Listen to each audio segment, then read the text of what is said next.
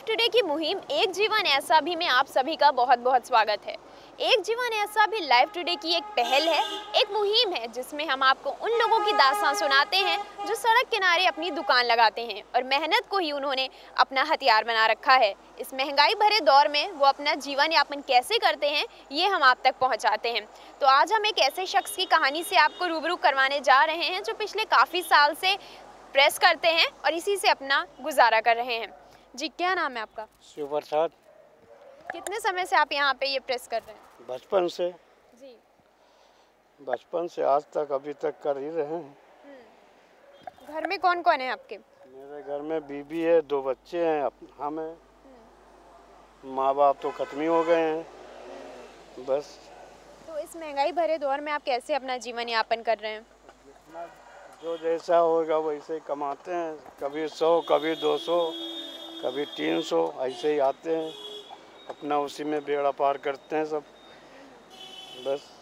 आजकल से अधिकतर घरों में खुद की प्रेस रहती है वो खुद प्रेस करते हैं। तो कितने साल से आप कर रहे हैं प्रेस? तो अभी क्या कुछ अंतर आया है? नहीं अंतर तो हमारा है। शुरू से यही इसी तरह है। हम जो काम करते हैं अपना ही करते हैं खुद ही का। जो है अपना यही काम करते हैं और कोई काम ही नहीं है।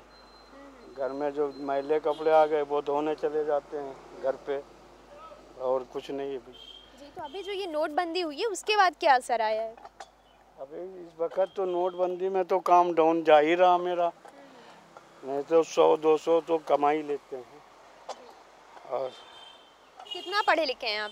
पढ़े नहीं है का आप नहीं पढ़े आप अपने बच्चों को पढ़ा रहे हैं तो क्या आप उनके लिए क्या सपने हैं आपके दिल में? जो सपने उनके होंगे तो वो जानेंगे। अब हम क्या बताएँगे? आप क्या चाहते हैं? अब हम पढ़ा लिखा के उनको जो बन बनना चाहेंगे वो बना देंगे। अब क्या बताएँ और?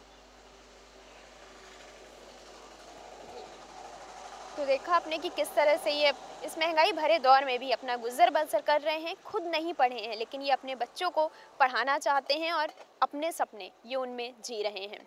आज के लिए बस इतना ही हम फिर हाजिर होंगे एक नई ज़िंदगी के साथ नई कहानी के साथ।